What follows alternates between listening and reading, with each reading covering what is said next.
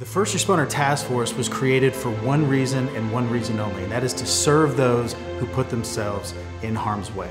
Let's take it back to the tragedy of September 11. It affected every single man, woman, and child in this country, every industry, and around the world. It changed things.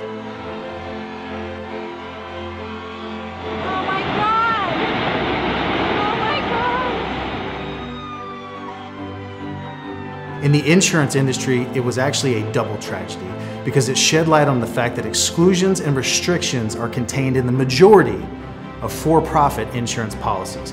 Exclusions like acts of war, acts of terror, hazardous duty, and line of duty were buried in the fine print of these policies. These policies just list ways that if you die that way, they're not going to pay, right? Your family's not going to get the money.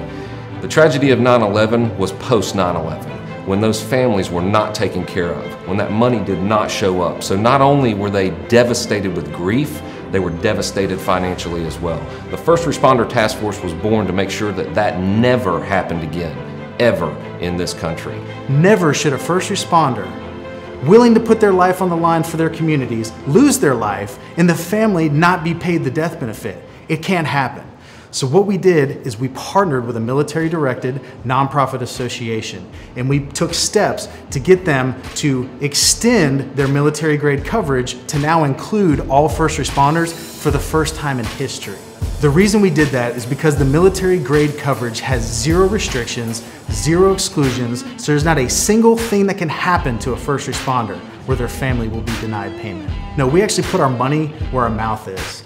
Every first responder in this country is able to receive a $5,000 military grade life benefit at 100% no cost to the individual and 100% no cost to the agency.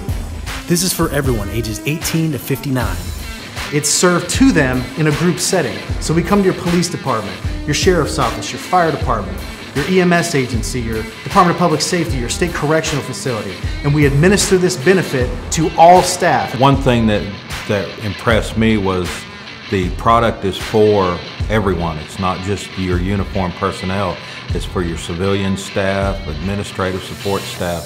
So everyone has the opportunity to take part in it. which is good because uh, i- oftentimes they get left out of the equation. And with this benefit, they're not left out of the equation and they're important members of our organization. When we come in and serve your agency, our task is twofold. First, to make sure every single one of your personnel receive that $5,000 life insurance policy. Our second task is to bring awareness to the exclusions that are in policies and the tragedies that happen when first responders put their life on the line and companies deny payment to their families. Is to bring that awareness and to make sure that they know for the first time in history they have access to military grade coverage that makes sure that their families get the benefit that they deserve, that they've paid for, that they've paid into. Our mission is to reach over 100,000 first responders every single year in this country.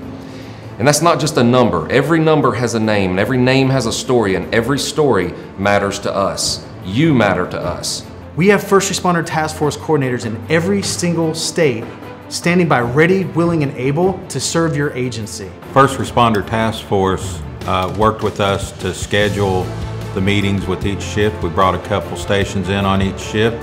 They sat down, gave a real brief description with all of our firefighters, and uh, filled out the policies. In terms of how it all, um, how the process went for our organization, it was about as smooth as it could be. Uh, about the only requirement for us was to inform the task force member when our employees were coming together in our in our various roll calls. Task force members showed up, did their job. It was pretty straightforward. When we serve your department, we'll be there at the 5 a.m. roll call. We'll be there at the 1700 roll call. Our task force coordinators will sometimes work 24 to 30 hours straight in your department, making sure that they get to every single person so that they get what they've earned. I would say definitely let this First Responder Task Force come in and talk to you and your personnel. This is something that your first responders have earned, and they certainly deserve it. I just think it's important for employees, and I think it shows them uh, that people outside of the police organization, outside the police family, actually really care a lot about them. Below this video, you'll find a contact form. Put in your name, the name of your agency, and your contact information, And one of our first responder task force coordinators will reach out to you as soon as possible to get your agency on our schedule to come and serve. And personally, from somebody who has many first responders in their family, law enforcement and fire, from the bottom of my heart, thank you for what you do on a daily basis. Thank you for what you do for your community. And thank you to your families because they sacrifice along with you. So on behalf of the First Responder Task Force, thank you for what you do, and we look forward to hearing from you soon.